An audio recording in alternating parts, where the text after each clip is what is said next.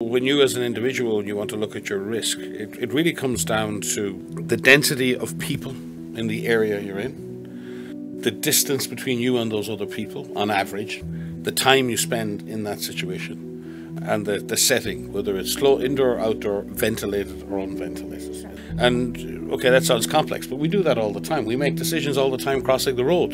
We look one way, we look the other, we see if it's a bus or a car or a bicycle. We decide to cross the road because it's a bicycle, it's a bit further away, and they don't go so fast. We're always making choices that are multifaceted choices. Human beings are, I said it before on this, we're natural risk managers. We avoided getting eaten by predators for many hundreds of thousands of years. We're very good at processing complex information about our environment and acting on that information to our benefit or to avoid danger. It is part of our DNA, it's part of our makeup. So I would like everyone out there to just continue, and it doesn't matter if it's for COVID or for influenza or for RSV, but again, remember it's about distance, time, uh, and it's about the context in which you're being exposed to other individuals.